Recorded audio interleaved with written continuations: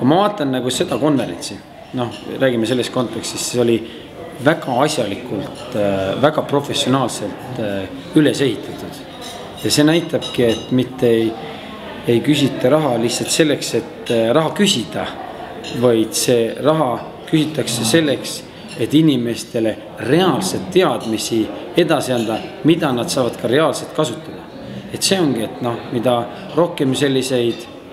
organisatsioone tekib Eestis, kes reaalselt arenevad ühte kasvõi väikest pisikest valdkonda Eesti ühiskonnas, mida rohkem selliseid professionaalseid, efektiivseid valdkondi tekib,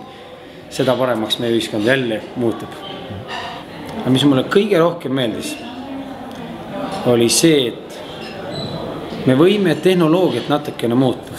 aga kui me saame, tahame suurt muutust, siis me peame oma mõttemaailma muutma see oli nagu selle seminari minu jaoks kõige nagu